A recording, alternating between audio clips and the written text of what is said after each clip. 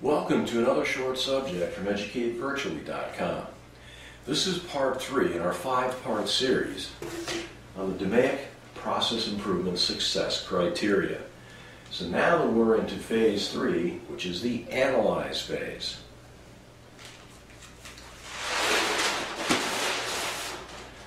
So phase three, analyze, the objectives are as follows.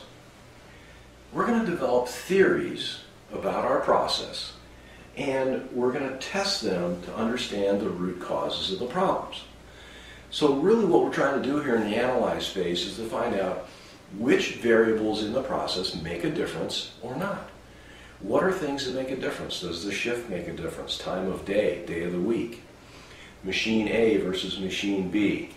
Okay, process area A versus process area B. What makes a difference? So we have to come up with things that we can test, those theories, where we say, well, let's find out if this makes a difference or not.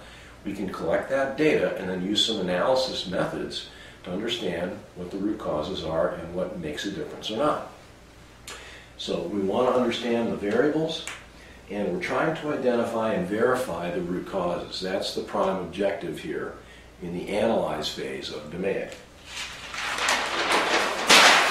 So the tools, brainstorming, Here's where we're going to use some creativity techniques to see if we can uncover what's going on within our process and get some of that a priori knowledge of all the people that are process participants so we can share that collectively.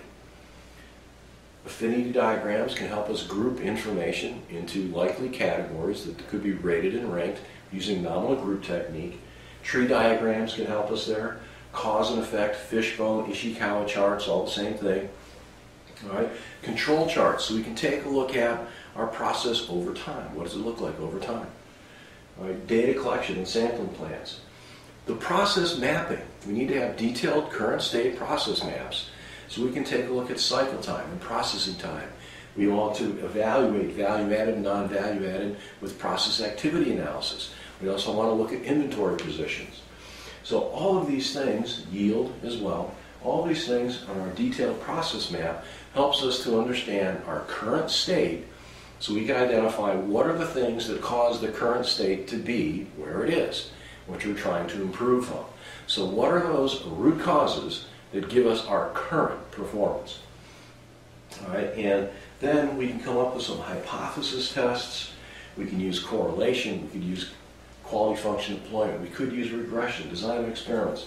There's a lot of tools and methods that we could use, and we'll just have to pick and choose the ones that make the most sense based on the type of process that we're dealing with. All right. So there's many tools in our toolbox. We don't always use every single tool. All right, the deliverables. What are those potential causes for our issues? What's the criteria that we use to narrow our field of focus so now we're honing in on what we think are the real root causes of the problem?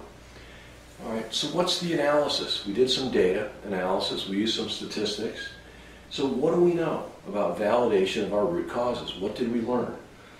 All right, how do we interpret the analysis? And finally, we end up with a list of verified root causes to our issues. So now we're prepared to go into the improve phase where we can come up with some creative solutions to tackle the issues that we now have validated.